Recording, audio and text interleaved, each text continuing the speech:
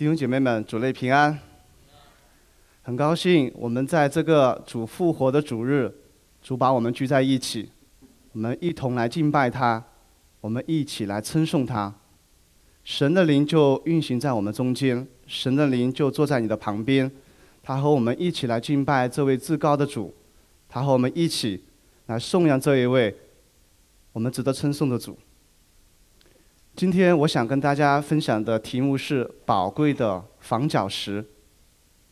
我们一起来读一下我们今天的主题经文，它是在以弗所说的二章的十九节到二十二节。如果你有圣经的话，你可以翻开你的圣经；如果你没有圣经的话，你可以看到我们屏幕上已经打出来的这个圣经的经文。我们一起来诵读这段经文，好不好？这样。你们不再做外人和客旅，是与圣徒同国，是神家里的人了，并且被建造在使徒和先知的根基上，有基督耶稣自己为房角石，各房靠他联络得合适，渐渐成为主的圣殿。你们也靠他同被建造，成为神借着圣灵居住的所在。我们一起来低头来祷告。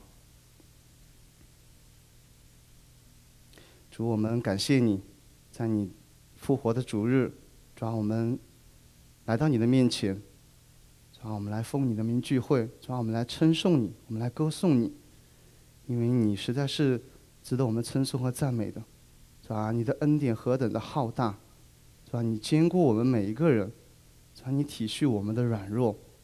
你知道我们的所需和所想，主啊，我们愿你成为我们心中的磐石，我们信仰的磐石，我们坚固的根基，主啊，就求你来，真的是来带领我们，来帮助我们，让我们把我们的信仰建立在你的磐石上，永不永永不摇动，是吧？今天就请你赐下你的圣灵来，来到我们的中间，是吧？你就保守孩子的口，孩子是笨口拙舌的，孩子是。缺乏智慧、缺乏能力的，求你高抹孩子的口，然后？让我所讲的都是你所喜悦的，是吧？你的灵也与我们在座的弟兄姐妹们同在，让我们怀着一颗真的是饥渴沐浴的心来到你的面前，来真的是来学习你的话语，来从你的话语当中吸取力量，是吧？真的是靠你而活，主啊，我们谢谢你，求你带领我们的时间。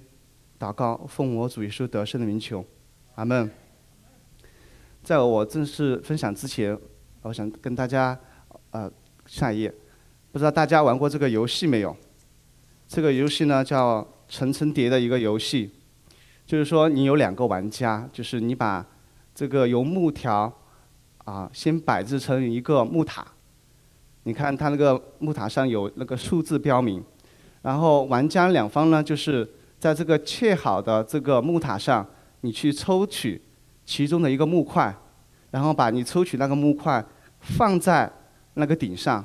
如果谁在抽取木块的时候，或者放置木块在这个顶端的时候，如果这个塔倒塌了，那么就算这这位玩家输了。我我不是很擅长玩游戏，我玩这种游戏的时候，通常可能都会。都会是输的那一家，因为我我通常在这个抽取木块的时候呢，都会碰到旁边的。呃，我不知道大家玩过这个游戏没有？如果你玩过的话，可能你有自己的这个心得。你可能会觉得，如果我在玩这个游戏的时候，我一定要轻轻地抽动那个木块，呃，不要碰到旁边的。然后你可能还会还会想到说，我选择哪一块来抽取这个木块，可能对我来说是最保险的呢？可能我们都有一个共识，说我们尽量不要碰那个底部的部分，对吧？当我们碰底部的部分的话，那么我们可能会有更大的机会这个塔塔倒掉。所以我们知道，一个建筑的稳固与否呢，可能取决于它的根基与否，基根基的稳固与否。根基的稳固与否，直接直接决定于这个建筑能够这个盖多高，对吧？我记得在零九年的时候，呃，曾经有这样一个新闻，不知道大家注意到没有？就是说，上海的有一个在建的那个楼盘，它一个十三层的这个小高层的楼，它还没有建成，但是就整体性的这个倒塌了。那可能原因会有很多，你说它的这个水土啊方面的，我相信可能一个很重要的原因是它的这个地基，它的这个地基的部分并不牢固，使得这个才十三层的一个小楼就倒塌了。可能它还有其他的问题，比如说这个建筑这个材料用的是否是合适的等等。但是它的根基不倒不牢固，导直接导致了它这个这个倒塌。那建筑我们知道最重要是你的根基的部分。如果把我们的信仰比喻成一个建筑的话，一个房子的话，那么弟兄姐妹们，什么是是我们最稳固的根基呢？今天我就想跟大家分享的就是。耶稣来做我们的信仰的根基。我们回到刚才我们所看的这个主题的经文，是在以弗所书。我们知道以弗所书呢是谁写的？是保罗写的，对吧？是保罗写给以弗所教会的。他又说：“这样你们不再做外人和客旅。”你们这里是指的谁呢？是指的保罗写给以弗所教会的人。那教会的什么人呢？是教会的外邦人。就是教会的这些外邦人不再做外人和客旅了。我们知道，在旧约时代的时候，神通过他特殊拣选的民族，就是以色列民族，来彰显神的救恩。神带领他们出埃及，过红海，带领他们降马拉，带领他们用云柱和火柱带领他们在旷野中生活了四十年，使以色列人经历了神的同在。在上周星期啊，这周星期五的时候，我们小组还刚刚分享了这个出埃及记的部分。记得有一段经文说，神就像老鹰一样，带领着以色列人飞越这些困难和困苦。当以色列人前有追兵，后啊后有追兵，前有红海的时候，看似无法逾越的障碍的时候，是神就像鹰一样拖着以色列人飞越了红海，他们飞越了一个又一个的困难。那在新约时代呢，主耶稣基督的到来打破了外邦人和这个犹太人的界限，使救恩也临到了我们这些外邦人。他也使得外邦人成为了神救赎计划的一份一一份子，成为了我们新约时代的新以色列人，或叫真以色列人。呃，修牧师经常跟我们讲真以色列人的概念，就是说神谁是现在的真以色列人呢？现在的真以色列人不再局仅仅局限于以色列这个民族的概念，而是指代所有信耶稣的人，就是在座的你我。那我们这些信耶稣的人就可以称为真的以色列人。耶稣跨越了民族，跨越了国家，跨越了种族。我记得我在信主呃之前的时候，常常听到我们中国人对啊信耶稣有一个呃。错误的观念嘛，他说，啊，耶稣是外国人，他是西方人，我们是中国人，我们应该信中国人的神，我们中国人神，中国人神就是应该信我们中国人的佛。可能在这里呢，有两个比较错误的概念，就第一呢，耶稣并不是西方人，耶稣出生在以色列人，是东方人，他是属于近东，而我们中国呢，属于是远东的地区。第二呢，佛其实也不是中国人的佛。佛是从我们都知道是从印度而来的，所以我们很传统的中国人呢，把我们的信仰呢就很禁锢在我们狭隘的民族主义的这个情节里面，我们不能自拔。耶稣他是超越肤色，是超越国家、超越民族的、超越地理的神。最重要的，他是唯一的神，他也是公义和良善的神。神把他的儿子耶稣。赐给我们道成肉身，他为着你我的罪钉在了十字架上。他是爱我们的神，他爱以色列人，他也爱罗马人，他也爱英国人，也爱法国人，也爱非洲人，他也爱我们中国人，他也爱美国人。他是我们全人类的神。说真的是天父爱我们，把把他的儿子带到了我们的中间。啊，这是何等的恩典和慈爱！那你我，也不再是外人和客旅，是神家里的人了。神把我们称作为他的儿女，这是何等尊贵的身份，是何等荣耀的身份！在我们这些不配的人的身上，神称作是我们是他的儿女。下面说，他说，并且建造在使徒和先知的根基上。好，使徒和先知的根基是什么？我们知道，我们圣经的新约部分都是耶稣的这些门徒和使徒所写的，写所写的。在这些圣经的章节中，特别是在四福音书以及在使徒行传中，我们见证了这些门徒、使徒们他们信仰的经历。我我们见证了他们为主勇敢的过程，他们当中很多人可能跟我们一样都是普普通通的人，甚至更比我们更普通。他们就是普普通通的在加利利海旁边打打鱼的渔夫，甚至也有不被以色列人看得起的税吏。他们从默默无闻成长到为主为主奋斗的精兵。那是什么曾经让这些胆小的渔夫们？成为勇敢无畏、不惧死亡、为主勇敢传扬福音的使徒呢？是什是什么让他们让这些曾经以色列人看不起的税吏，也成为为主传福音的斗士呢？又是什么让保罗这一位曾经极力迫害基督徒的这个法利赛人，成为成一个为基督？为福音的缘故，将主的福音传到罗马的这个伟大的使徒呢？那什么是他们的根基呢？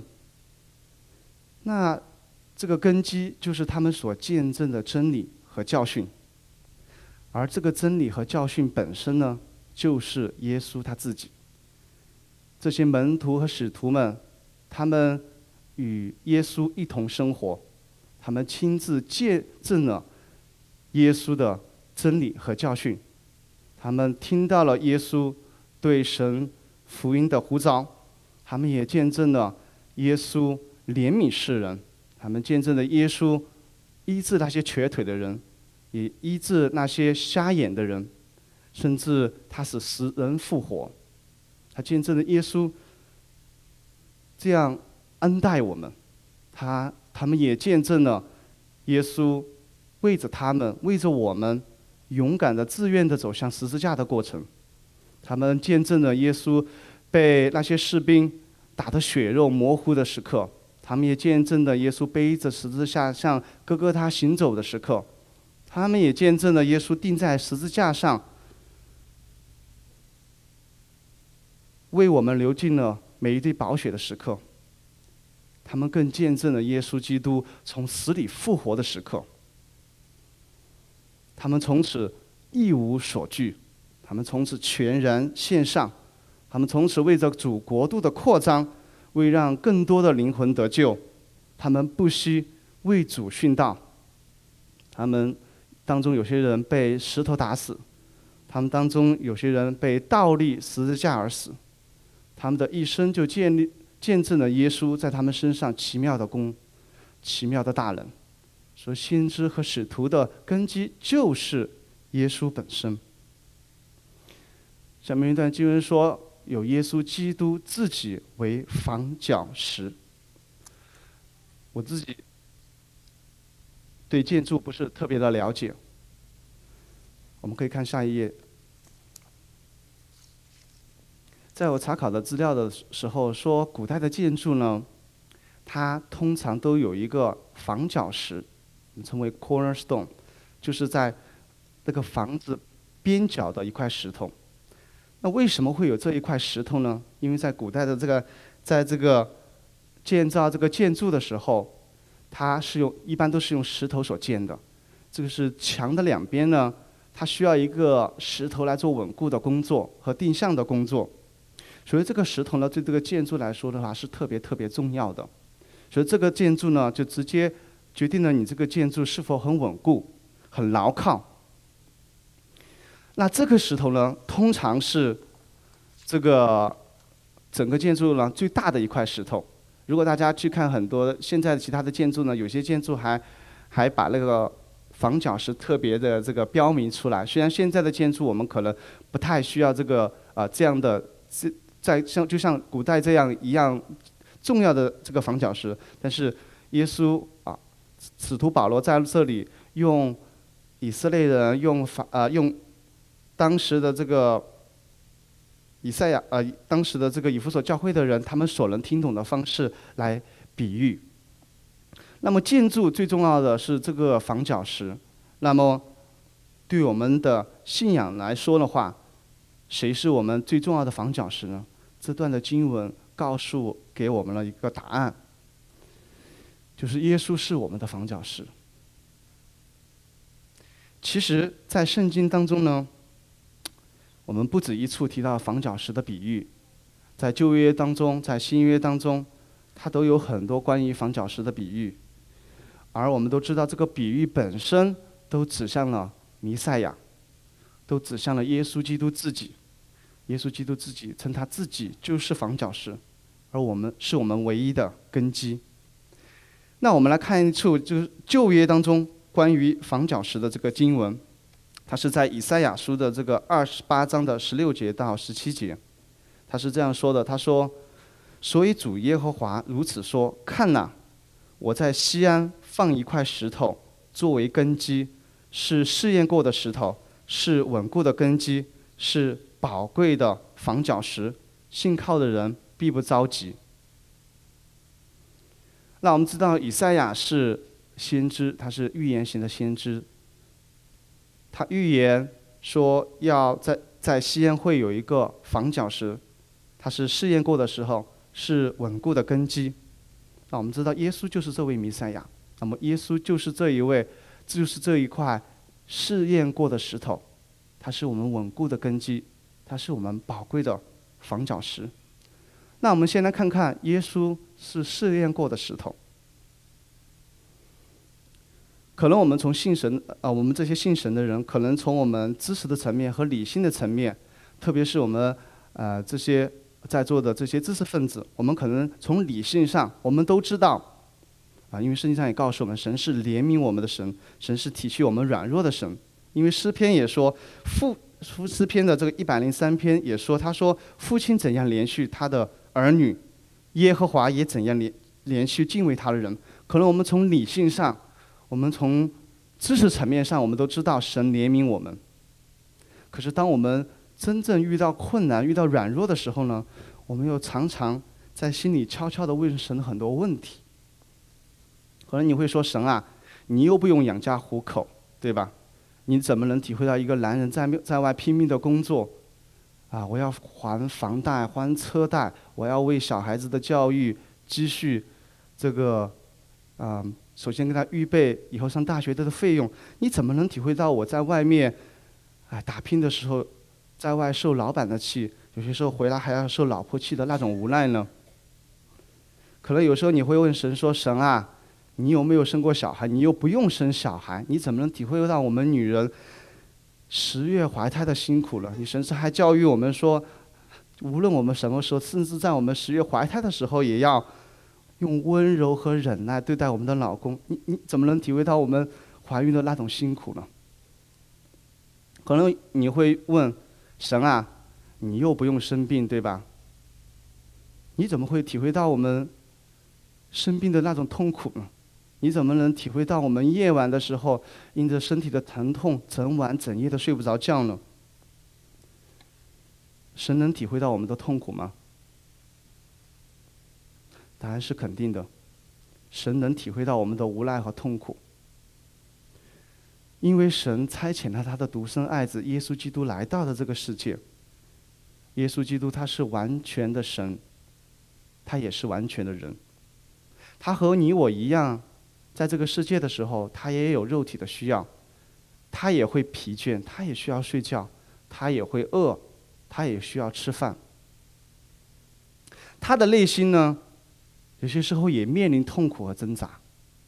他面临上十字架的时候，圣经是这样描述他心里的这个心里的活动。他说，他心里甚是忧伤，几乎要死。他也会向神祷告说：“我父啊，倘若可行，你就叫这杯离开我。”他知道他将，他将上的这个十字架是有多么的痛苦。但是希伯来书四章十五节说：“因我们的大祭司并非不能体恤我们的软弱，他也曾凡事受过试探，与我们一样，只是他没有犯罪。当耶稣祷告说：“父啊，求如果可以，求你能能让这杯离开我。”但是他后来又说：“说愿你的旨意成就，我愿意顺服你。虽然我知道这个上十架的过程将是极其痛苦的一个过程，但是我愿意顺服你。”耶稣在这个世界上的时候，他也受过受到过很多的试探和诱惑。马太福音是福音书中记载了，嗯，耶稣曾经受到过的很多的试探。曾经的一个啊一个试探呢，就是在马太福音的四章的啊所描述的。他说，当时耶稣被圣灵带到旷野，受魔鬼的试探。当时耶稣禁食了四十昼夜。进食四十昼夜，我不知道大家进食过没有？我以前进食过，我进食过一顿，我都觉得已经饿得不行了。因为当时我们星期五的时候，原来我们教会有一个祷告会啊，我们的牧者都鼓励我们说，啊，星期五的晚上，然后就鼓励你进食，然后用怀着一颗啊口目神的心来到祷告的祷告的来到祷告会。我进食过一顿，然后我都忽然都觉得饿得不行。那耶稣进食了四四十个昼夜，可能我们进食一，呃，一顿还是可以，可能进进食一天可能也可以，可能一周就比较困难了，但更别说四十天了。我记得以前有个节目曾经讨论讨论过，说人如果你只喝水，如果不吃饭的话，你能你能活多久？就是人的极极限有多久？我不知道答案是什么，那么好像也没有什么答案。但我听说，好像极限的情况下的话，人大概如果你只喝水，不吃饭的话，大概能撑到二十天、三十天，可能都是就是就是算是人的极限了。但耶稣禁食四十昼夜，可能你就会说，当然了，耶稣又不会对吧？他是神的嘛，四十昼夜对他来说是小儿科。可是你别忘了，耶稣，他也是全人的人，他也会体会到饥饿，因为圣经上就说他后来他饿了，后来他饿了。相信，相信耶稣在进食四十昼夜以后也是饥饿难挡，所以这时候试探来了，魔鬼对他说：“哎，你不是神的儿子吗？你如果是神的儿子，很简单呀，你就把那个石头。”变成食物就可以了吗？你就不用挨饿了吗？耶稣有没有这个权柄？耶稣有没有权柄和能力说把那个石头变成食物？耶稣当然有这个权柄。耶稣当然有这个能力，因为耶稣曾经他变水为酒，对吧？耶稣曾经可以让五饼二鱼喂饱五千人。耶稣甚至可以让瞎眼的看见，使瘸腿的走路，使死人复活。耶稣难道把这个石头变成食物都不可以吗？当然可以，但是耶稣放弃了这个能力。耶稣是怎么回应的呢？耶稣是用圣经的话语来回应魔鬼的试探的。他说：“因为经上记着，人活着不是单靠食物，乃是靠神口里所出的一切话。”我相信，我相信，那时那刻，耶稣知道神的旨意是什么。神，耶稣自愿放弃了自己的能力和权柄，来满足自己肉身的需要，因为他知道这是神，这是天赋，让他经历的饥饿。我我仿佛听到耶稣就在说：“啊，父啊，你知道我现在好饿啊，我肚子饿的不行了。”但是如果你需要我现在保持饥饿来经历饥饿的话，我愿意顺服你，我愿意你的旨意成就。耶稣就是这样一个顺服神的人，他胜过了肉体和物质的试探。后来魔鬼又接连试探了他两次，他魔鬼带带他带到他在这个殿顶，说让他跳下去。他说：“如果你是神的儿子的话，神会吩咐他的使者，就他的天使会拖住你，就说你跳下去绝对没有事儿。”以及第三次魔鬼把耶稣带到一个高山上，说让耶稣匍匐下拜魔鬼，说如果你跪拜我的话，我就把天，我就把万国赐给你。这就是耶稣在这个时候都用神的话语来回击的耶稣，他胜过了撒旦的试探。说耶稣是试验过的石石头，他并非不能体会我们的软弱。在这个世界上，我们会遇到很多的挑战和试探，我们会有肉体的情欲，我们会有眼目的情欲，我们会有今生的骄傲，我们会有很多的试炼等着我们。当我们在面临这些挑战和试炼的时候，这段经文就告诉我们：我们有盼望了。因为有个人他曾经就遭遇过这样的试探，但是他胜过了，他知道怎么去胜过肉体的情欲，胜过胜过眼目的情欲，胜过今生的骄傲。他有法子，他知道怎么做。那我们就知道，当我们在面临这样的。试探和诱惑的时候，我们就知道该找谁了，我们就有盼望的知道，我们不一定会受他的辖制，我们就有能力和方法来胜过试探了，因为我们有师傅了，我们有耶稣这个师傅，我们也有耶稣这个靠山了。当我们在遇到困苦的时候，我们可能最最想要的就是两样东西，就是有人有人能理解我。有人能体会我的软弱，耶稣他能体会你的软弱。我们不光有需要有人体恤我的软弱，还需要有个人帮助我们，能不能提供一些解决的方法，和帮助我们胜过这样的痛苦？耶稣也可以。说，当我们在面临无论是你事业上的挑战、你家庭的危机，还是你身体上的这病痛的时候，我们就知道我们应该找谁了。因为耶稣是试验过的石头，他知道你的所求所想。耶稣也是稳固的根基。弟兄姐妹们，你你们觉得在这个世界上有什么是最可靠的？就是你最信得过的东西，或者是永恒不变的，就是它永远靠得住。我想，我们在这个世界上最为看重的是。有三样东西我们非常的看重，就是我们的亲情、友情和爱情，对吧？那我们来看看我们的友情靠得住吗？我们的朋友靠得住吗？我小时候被我父母教育的说，你在家要靠父母，你出门就要靠朋友，因为出门父母看不到你嘛，就出门要靠朋友。这就需要有很多的朋友在你需要帮助的时候能够帮助你。我们都期待我们的朋友可以为我们两肋插刀，可是有些时候呢，却我们被朋友插我们两刀。所以说，我们的朋友我们不是完全可靠的，因为其实你也能体会他的软弱，他也是人呐，他也有他的需要。人每个人都有他自私自利的一面，就像说，朋友靠不住。对于你来说，对你的朋友来说，也许你也是靠不住的。我们都是一样的罪人。那第二是爱情，爱情靠得住吗？其实我们每个人都很向往美好和永恒的爱情。可能在这个世界上，我们人类用了最多的歌曲来，歌曲和诗歌来歌颂和称颂爱情，来向往爱情。英国诗人拜伦曾经说过：“他说，没有的青春的爱情是什么滋味？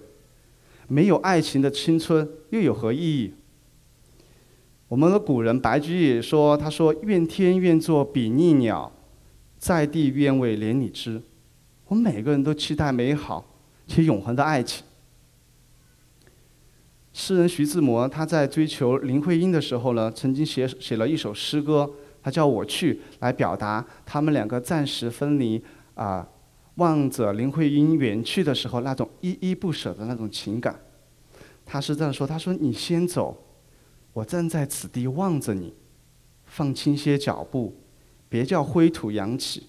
我要认清你远去的背影，直到距离使我认你不分明，再不然我就叫醒叫响你的名字，不断的提醒你，有我在这里，为消解荒街与深晚的荒凉，我目送你远去。多么美好的爱情啊！我们看到徐志摩对啊林徽因是多么炙热的情感呀。可是现实真是残酷的。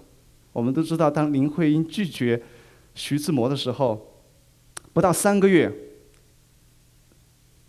徐志摩就把他那炙热的情感迅速的投到了另外一个女子的身上，就是陆小曼的身上。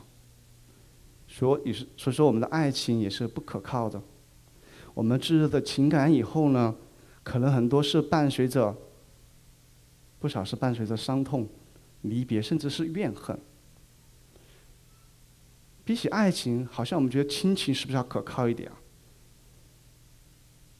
因为我们常说，我们亲人常说，呃，儿子啊，女儿啊，无论你在外面遇到了多大的这个伤痛，只要你回来，爸爸妈妈的这个双臂永远为你敞开。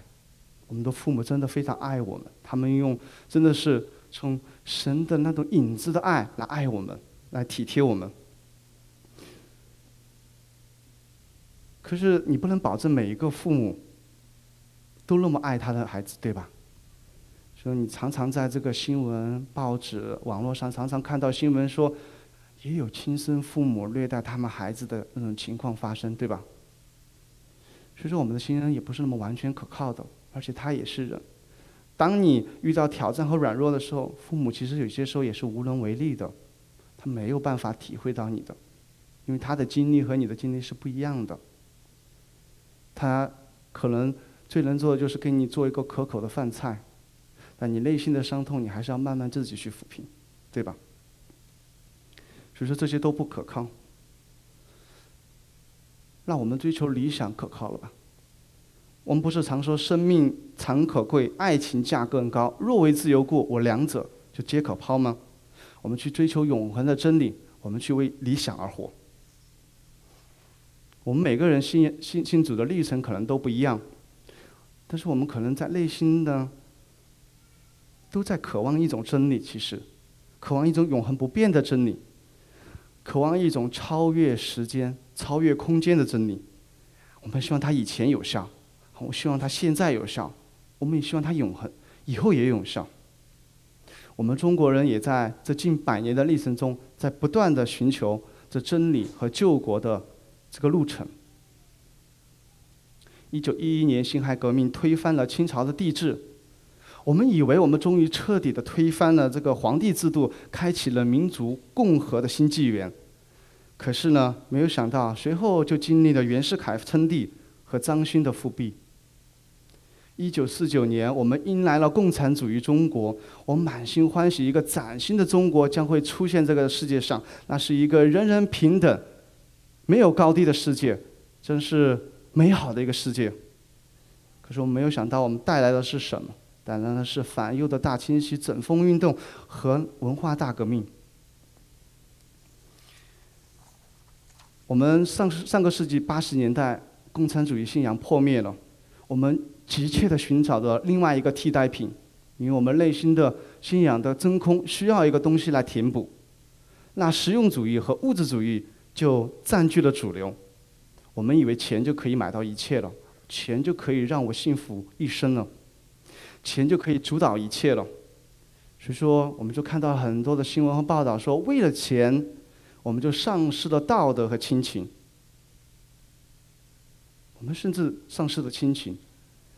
我看到有些报道，甚至是为了父母在离世后的那一套房子，儿女们就为了这套房子争打个不停。我们也丧失了道德。当我们在这个社会里面，你就会出现毒大米、毒奶粉，你就会出现无数的情人和小三。所以这个世界没有什么是永恒不变的。其实除了耶稣，没有什么是永恒不变的，因为这个世界没有公义和良善。大家可能都知道，在上周的时候。呃，刘晓波先生在狱中被肝癌去世的消息，可能很多很多追求自由和民主的人都很悲伤，都呼喊说：“哪里有公义，哪里有怜悯和慈爱。在这里，我想引引用一下我们于杰弟兄的一句话，他说：“若我不是基督徒，今夜我不，我便不再相信世间有公义和慈爱。但是我是基督徒，我相信一切都在上帝的掌管之中。这个世界没有良善和公义，因为圣经上早就清清楚楚的告诉我们，这个世界是属魔鬼的。”属撒旦的，他是空中的掌权者，他是他是抵挡耶稣的恶魔。所以说，只有耶稣才是中国的出路，才是你我的出路。我们知道，现在中国特别是大陆的福音非常的旺盛，是因为基本上你有什么的布道会，都有非常多的人信主。其实不是说那个布道的人他讲的有多么精彩，有多么高深的理论，是。是来自于，是因为我们实在太干渴了，好久没有喝到过水了，太干渴了。一旦有水进来，我就满心欢喜。你不用给我讲什么高言大志，我只要尝到这个水的甘甜，我就够了。因为终于有一个我喝了永远就不再渴的水，我内心真的是得到了巨大的满足。所以说，真的是很迫切的想喝到这个水。因为我们知道这个水是甘甜的，是不再渴的。因为我有了这个水，我们就不需要再去找其他的水了。而且这个水就是耶稣自己本身，他的福音本身。而且这个就是真理。耶稣说他是道路，他是真理，他就是生命。马太福音。二十四章三十五节，他说：“天地都要废去，我的话却不能废去。这个世界一切都可能变，但唯有耶稣的真理、耶稣的话永远不变。它就是一个稳固的根基，它自有、拥有、永不改变。因为在它里面，我们才知道什么叫公义，什么叫良善。因为它就像一个磐石，牢牢的矗立在那里。”无论周遭的环境发生了什么，那个磐石都是永远可靠的。无论是自然灾害来了，无论是地震来了，无论是海啸来了，它都牢牢的矗立在那里，使我们这一个信仰的房子永不倒塌。我们有了这么好的一个根基，那我们就要好好、好好的，真的是把我们的教会、把我们自己的个人信仰建立在耶稣基督这个根基和磐石上。耶稣是教会建造的根基，他是我们这个教会的根基，是我们隔壁教会的根基，是天下普世教会的根基。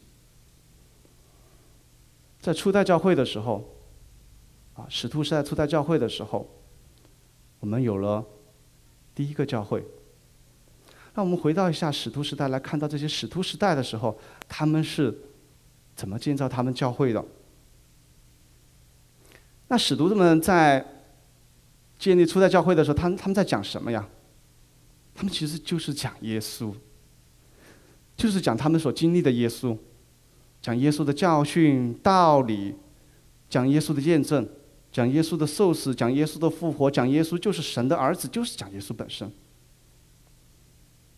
使徒行传二章二十二节的二十四节曾经描述了彼得的正道，就是当时有很多的这个百姓在下面，彼得为他们正道。他是怎么说的？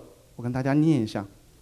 他说：“以色列人啊，请听我听。神借着耶拿撒勒人耶稣，在你们施行异人奇事神迹，将他证明出来，这是你们知道的。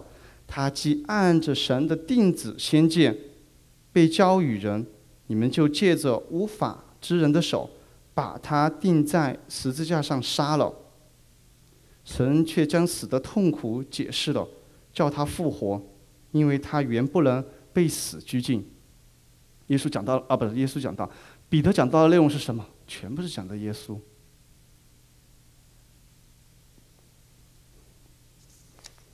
所以说，初代教会的这个根基，也就是建立在这个耶稣的这个基础上的，就是讲耶稣的一生，就是讲耶稣来了，我们要悔改，要信耶稣，我们拯救的是。所以在今天的教会。耶稣应该成为我们的根基。耶稣成为我们的根基，就表明着其他都不是我们的根基，甚至神学也不是我们的根基。弟兄姐妹们，神学是很重要的，是关于神的学问，是我们研究神，啊，从圣经中来研究神，是认识神的理论，这对于我们的信仰非常的重要，让我们的信仰不要走偏。所必要的神学训练呢，是神的工人工人所必须的，所必备的。可是我们也要注意到。神学不是建立教会的根基，是因为这个神学是多样的，它不止一个。神学是有限的，而神是无限的。甚至你去不同的神学院，可能他对一个神学会有不同的见解。如果我们把神学，呃，把我们的教会建立在神学基础上，那我们教会就会分裂，我们普世教会就会分裂。所以你会发现，由于我们在很多。认识上的不同，我们就会产生了不同的这个宗派，对吧？说宗派也不是我们教会的根，建立教会的根基。可能大家知道，在我们的基督信仰里面呢，有不同的宗派，有圣公会、浸信会、改革宗、灵恩派，有很多不同的教会。因为由于不同的领袖呢，教会不不可避免的产生了宗派。可能从好的一方面来呢，就是神想使用我们不同的人，看到不同的方面。来认识神，来更加全面的认识神。但是我们要知道，宗派不是建立我们的根基。我曾经呃在改革宗类型的教会都待过，还有灵恩派教会的我都待过。我发现我们的弟兄姐妹们只是在这个教的，在这个不同的教会里面，只是他的这个恩赐和着眼点，也许有一些轻微的不同而已。可能你去改去改革宗教会。他们非常的强调圣经的真理来认识神，他们会让我们的言行、我们的很多的这个呃实践都在圣经的真理的一字一句里面。那你去灵恩的教会里面，你就会发现弟兄姐妹的不同的特点是，他们强烈的，如果打个不是很恰当的这个分别的话，就是灵恩教会可能更加注重的是个人与神的一个。个人 person 的一个关系，就是在在他们敬拜的时候会建立一个深层次的敬拜，叫做深入的敬拜。就是你的敬拜，你和神有连接吗？所以我们知道他们是不同的特点，是不同的方面，他们都是神的教会。所以说，我们不同类型的教会只是神这个肢体里面的不同的部分而已。就有些教会做眼睛嘛，有些眼有些教会做肩膀，有些教会。做手，有些教会做腿，我们每个人也一样。所以我们千万不要做那种眼睛看不起脚，肩膀看不起胳，肩膀看不起手，做这样的事情来伤害我们的教会。啊，甚至我们知道，我们都很敬仰我们的牧师，他是教会的领袖。我们每个每个教会都有他的带领者，他带领着主的群羊，他也牧养着主的群羊。牧师是非常非常重要的职分，他还是非常辛苦的职分。但牧师只是神的仆人，是为主服侍的工人，他不应该成为教会的根基。我们也不应该把对个人的这个敬仰超越在耶稣的耶稣之上，因为保罗就曾经在哥林多情书里面为批评过哥林多教会分门结党的事情。他说：“因为格莱斯家里的人曾对我提起弟兄来说，你们中间有纷争。我的意思就是，你们个人说，有些人说他是属保罗的，有些人是属于亚波罗的，有些属于基法的，有些人说他更骄傲，说你们都错了，只有我才是属于基督的。他说：基督是分开的吗？保罗为你们钉了十字架吗？你们奉保罗的名施洗了吗？说人不是我们这样的教会的根基。”我们个人，我们对个人的敬仰，绝对不要超过在耶稣基督的之上。所以，我们教我们的教会是讲耶稣的地方，它不是讲世俗道理的地方。教会不是给你讲成功哲学，不是说你来了教会，我让你在这个世界上如何的更加的成功。我们我告诉你秘诀和方法，不是的。教会也不是为了拓展你的人脉，不是为了在你需要。无论是工作和什么需要的时候，有人可以帮助你的忙，不是的。教会也不是为了联系我们海外华人之间的感情，消除我们的孤独感。我们又不是同乡会，对吧？我们又不是四川同乡会，我们又不是东北人同乡会。我们教会是，教会是单单讲耶稣的地方，就是讲耶稣的故事、耶稣的教导，讲耶稣的怜悯、公义，讲耶稣的恩慈和良善。教会是单单为了耶稣的地方，为了让更多的人来认认识耶稣，让更多的人接受这个除他之外别无拯救的福音。因为教会是基督的身体，是那充满万有者，呃，是那充满万有者是充满的。说弟兄姐妹们，教会，我们的基督是教会的根基，也就是教会的头，就是说我们教会一切的事工，一切的服饰，一切的目的。就是为了传讲耶稣，让更多的人认识耶稣，传扬悔改的福音。我们在教会中实践耶稣的爱，我们把耶稣的爱行出去。耶稣基督是教会的根基，那耶稣教会、耶稣基督也是我们个人信仰的根基。我想从两方面来跟大家分享：我们要不见一人，只见耶稣；我们要不看环境，只看耶稣。因为神是一个灵，我们常常看不见他，因为我们眼睛只看到人嘛，所以依靠人会容易一点。就如果我们有什么需要的话，去找人帮助，可能会得到的反馈会更加立刻、迅速和具体一些。但是我们个人的成长却是要慢慢学习依靠神，不依靠人的一个过程。因为再刚强的人也有软弱的时候，他也有跌倒的时候。当我们如果眼睛只定睛在一个人的身上的时候，我们也容易跌倒。所以说，我们要学习单单的信靠神，使我们的信心永不动摇。所以说，我们自己的成长要靠着耶稣。我自己来说的话，其实我自己个人信仰的成长，我离不开宣教士们的帮助。所以说，每当我看到有像 Patrick 他们这样的宣教士，我内心都非常的激动，因为我受了他们的恩惠，我受了他们的帮助。我记得在我信仰的初期的时候，啊，是一群来自美国的这些神学院的神学生，他来到我们中间，来帮助我们，来跟我们一起生活。我记得那时候一周要见好几次面，星期一晚上有弟兄会，星期五晚上有祷告会，星期六还有一个聚餐会，啊，星期主日还要一起来敬拜。所以说，他们对我的帮助非常非常的大。他他们可以，他们跟我一起来读圣经，一起来帮助我们。如果我们在读圣经有什么疑惑的时候，来帮助我们，我真的是非常的感谢他们。我的我在组里面的成长也是呃，真的是由于他们的一步一步的帮助。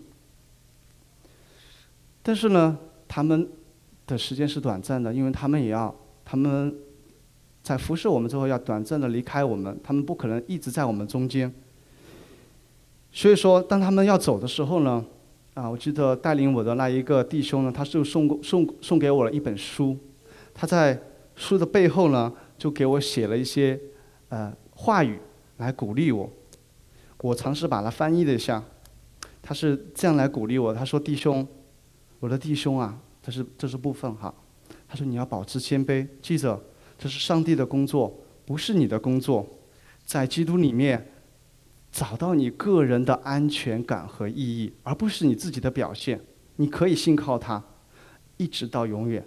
他说：“爱你的弟兄。”他说：“是你要你找到你基督在你个人的安全感和意义，而不是你在别人的身上找到安全感和意义。是你自己要面对耶稣。当然，学着依依靠耶稣，学着自己独自去依靠耶稣啊，寻求的一个过程，并不是一帆风顺的过程。”因为如果没有人来帮你安排读经计划，你有些时候你就读不下去，对吧？如果没有人和着一起祷告，你好像觉得祷告就无力。如果没有人跟你在一起的话，你身体有病痛的时候，好像你自己又祷告不起来。所以我们知道这个过程不容易，有曲折，但是结果是美好的。当你真正学习到独自依靠耶稣的时候。你就会发现你的信心增加了，你能摸到耶稣了，你不再受，不再那么容易受旁边的人对你的那种影响了。他软弱，你来帮助他，这是你个人成长的一个过程。就像星期五我们分享说，牧师分享说，耶稣就像鹰一样带领以色列人飞飞过啊红海，耶稣也带领我们这些小鹰要飞过了红海。但是我们自己呢，也要帮助别人，我们也要像鹰一样帮助别人，带领别人，当他们有困苦的时候。但只有一，所以说当。当耶稣在你的生命里面有那鲜活的见证的时候，那是没有人可以夺得去的，也不是，也是任何环境夺不去的，因为是，因为耶稣在你里面有鲜活的见证。我们自己的成长呢，也不要太在意别人的评价，所以说我们可能天生呢就很在意别人的评价。我们做这件事情做得好还不好？我们在服饰当中，可能别人对我们的评价直接影响到我们下次服饰的热情。比如说你在小组带领查经之后呢，你会想说：“哎呀，我不知道弟兄姐妹对我查经带的好不好？”比如说我们在小组服饰之后，有别人有没有觉得我很殷勤啊？比如我在教会带敬拜，有没有有没有别人说我唱得好，带领敬拜带得好？如果别人对自己呢？有一些很不错的评价，自己就非常的开心，觉得自己非常棒。反之，如果别人对自己的评价呢，评价一般的话，自己就会气馁，心知可能暗暗说：“我下次再也不去服侍了。”我自己也一样。我记得我当时在教会刚开始讲道的时候，我当时是自己是比较呃呃心里没底的，因为我觉得我眼里面弟兄姐妹们到底觉得有没我有没有资格来正道啊？啊！大家有那么多的人人，口才有比我好，学识也比我高，爱主人大有人在。我去讲到，这个别人觉得会不会幸福？当当正道结束之后，如果没有三五个弟兄过来说：“哎，白哥弟兄，你今天分享的，我今天很有得着。”如果没有的话，我心里就会哇，心里就很空，说：“啊，看来这次分享的不好，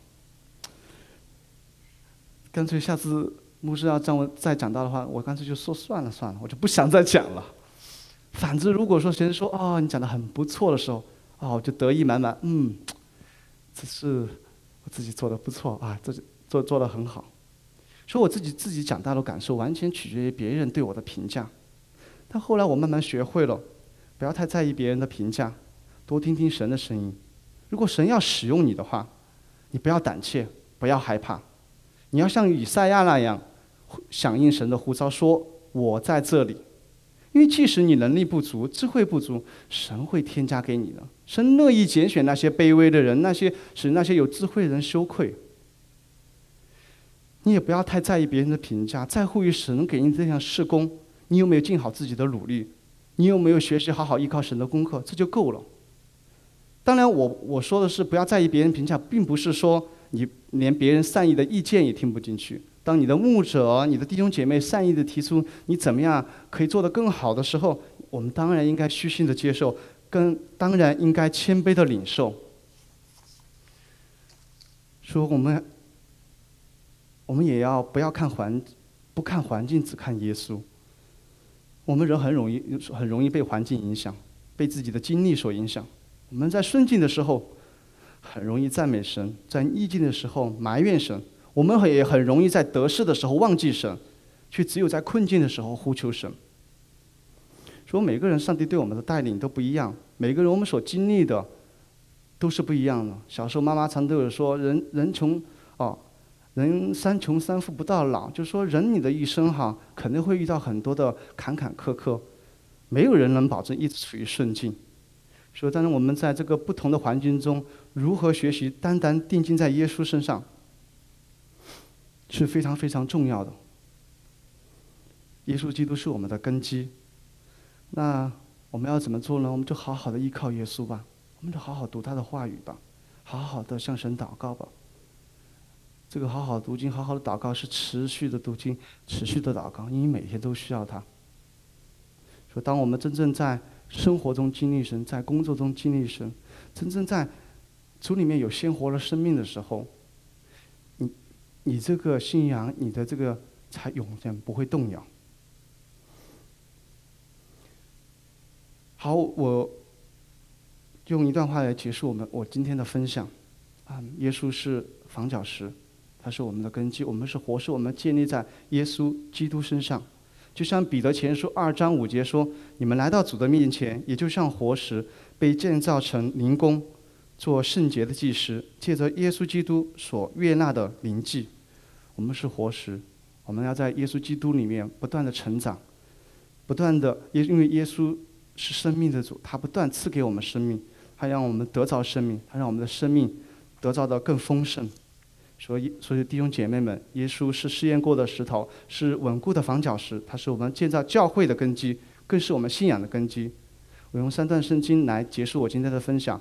如果你你此时此刻你最近正遇到很多的软弱，你遇到很多的挑战，我希望这些圣经能够安慰到你，因为神的话永远不改变。以赛亚书四十章二十九节到三十一节说：“他说疲乏的，他赐能力；软弱的，他加力量。”就是少年人也要疲乏困倦，强壮的强壮的人也必然跌倒，也全然跌倒。但那等候耶和华的必重新得力，他们必如鹰展翅上腾，他们奔跑却不疲倦，行走却不疲乏。诗篇二十八章七节说：“耶和华是我的力量，是我的盾牌，我心里依靠他，我就得帮助，所以我心里欢乐，我必用诗歌来赞颂他。”诗篇的二十三章四节也说：“我虽然行过死荫的幽谷，也不怕遭害，因为你与我同在。你的肝、你的脏、你的肝都安慰我。”所以弟兄姐妹们，无论你现在经历什么患难或者痛苦、疾病或者忧愁，我们都记得耶稣是我们永远的保护，是我们的安慰，是我们的防脚石。他永不动摇，他值得你的依靠。好，感谢主，谢谢大家。